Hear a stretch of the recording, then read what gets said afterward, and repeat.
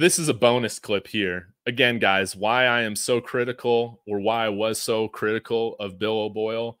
Bill, none of my guys know their assignments, O'Boyle. Is that he's telling every every guy, you know, they're not on the field because they don't know their assignments. Well, it's kind of an issue when nobody knows their assignments, right? Especially after a period where you're on a bye week, okay?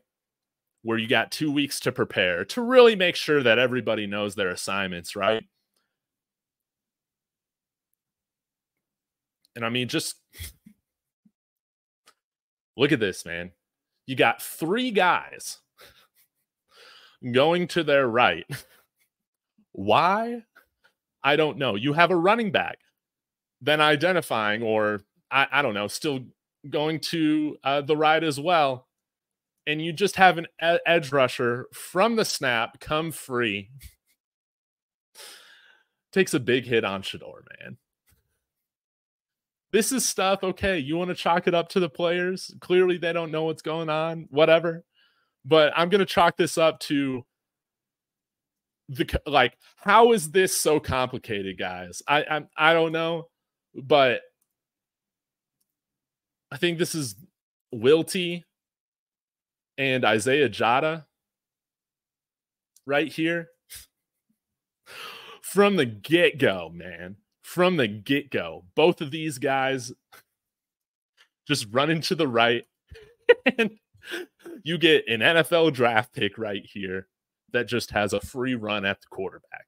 This is the kind of stuff that I was that I saw that people like Matt McChesney is calling out saying, What is going on where these guys are not communicating, understanding what's going on? You see, Van Wells is turned inside. Are you really expecting him to come in and block an edge rusher? I mean, you just.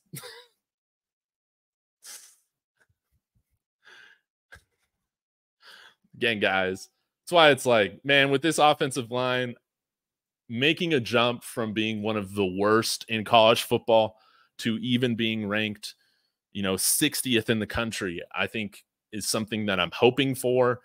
And I think would be a substantial improvement on this offense. Um, to me, that sort of stuff is just inexcusable, and it really makes me wonder what what the hell were you telling these guys in the meeting room? Or how the hell were you not getting these guys attention to understand what was going on on the field? After a two week bye week period or a two week period where you have a bye week preparing for an opponent like this type of stuff to me was like totally inexcusable. And it makes sense of like why after this game was seeing some of the stuff that I was pointing out with some of the offensive play design and what was going on in the offensive line why coach prime was like yeah you know what after this game pat shurmur we need you to come down here not only be the play caller, but also the the uh, uh, offensive line coach.